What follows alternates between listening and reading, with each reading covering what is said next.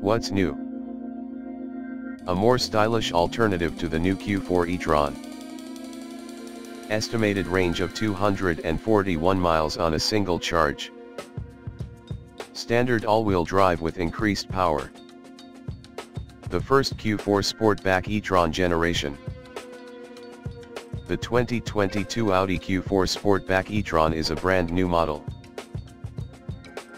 This all-electric SUV seats 5 people and is positioned in the market alongside competitors like the Hyundai Ioniq 5, Volkswagen ID.4, and Volvo C40 Recharge. What sets the Q4 Sportback e-tron apart is its fastback roofline and lower height, giving it a sleek and aggressive silhouette. Priced at just under $54,000, the Sportback is more expensive than the standard Q4 e-tron but is priced similarly to its main competition. While passengers may have to compromise on headroom and rear legroom due to the Sportback's rakish profile, there is still enough space for luggage and weekend trips.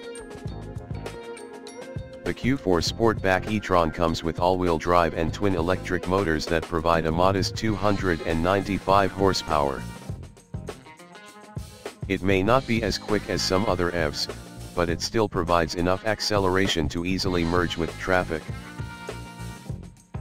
The EPA rates the Sportback's range at 241 miles, which is typical for the segment and practical for daily use. Inside, the Q4 Sportback e-tron has a modern and futuristic design, with a 10.1-inch centrally mounted infotainment screen and a 10.25-inch digital instrument cluster. Audi has used high-quality materials and packaging to make the Q4 feel like a luxury tech-laden SUV. There are three trim levels available, Premium, Premium Plus, and Prestige, all of which have a standard 82 kWh battery pack and all-wheel drive.